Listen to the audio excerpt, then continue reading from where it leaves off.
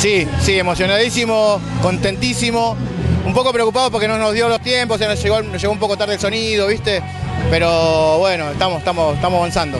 Algo usual en el rock, digamos, no me estás contando nada nuevo. Sí, lo que pasa es que la idea es hacerlo de manera más prolija, ¿viste?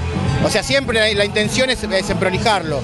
Y bueno, y siempre pasan cosas. Igual de todos modos no estamos tan atrás con el tiempo, pero estamos un poco atrasados.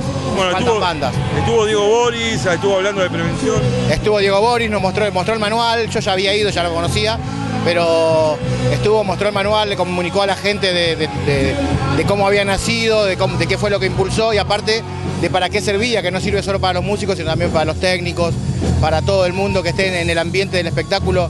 Le viene bárbaro ese manual porque te, te abre los ojos en un montón de cosas. Eh, bueno, estuvimos hablando con Katy, la mamá de Gastón, también está muy emocionada. Sí, sí, la verdad que sí.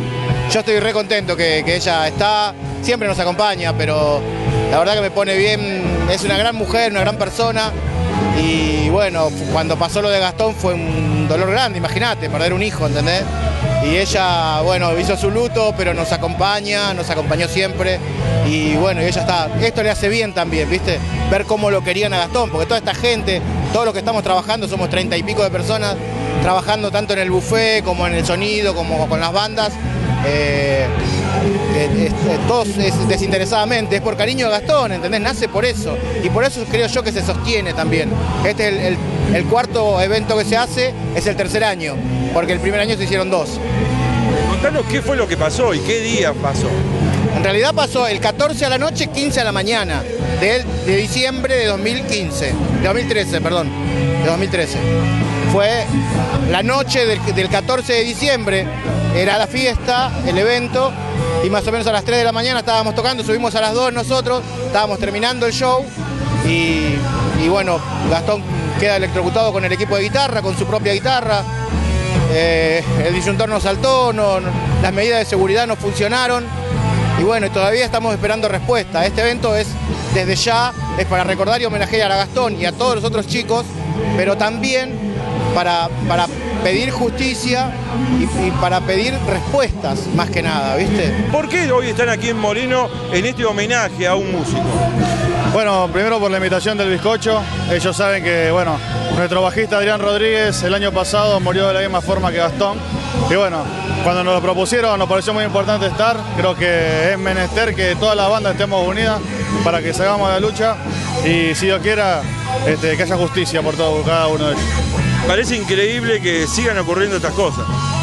Sí, este, cuando el gobierno, ya sea de cualquier partido político, digamos, que esté amando en cada distrito, le siga dando poder a los empresarios para que se sigan, este, con el perdón de la palabra, cagando en el músico, va a seguir pasando.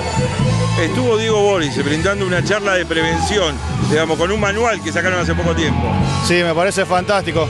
Este, lo que nosotros creemos después de lo que nos pasó, sobre todo en Rosario, es que hay que concientizar al músico, hay que enseñarles y es muy difícil. Cada vez este, salen más bandas y no le importa el riesgo con tal de demostrarse lo que tienen. Es, es totalmente dif- difícil, pero bueno, hay que hacerlo, hay que tratar de, de cualquier modo, tratar de concientizar en cualquier de estos eventos, mucho mejor todavía.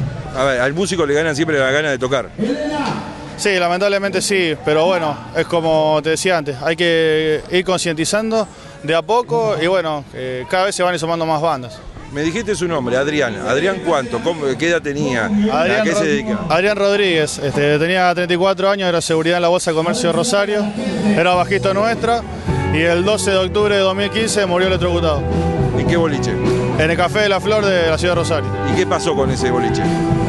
Fue clausurado, este, hasta el momento están imputados Ariel Schar, que era el dueño de ese momento, este, Campo Dónico, que es el electricista del lugar, y el inspector este, que habilitó el lugar, cual eh, se comprobó que, que fue una truchada, que, que es ilegal. Así que bueno, estamos a la espera que en marzo empiece el juicio oral y público.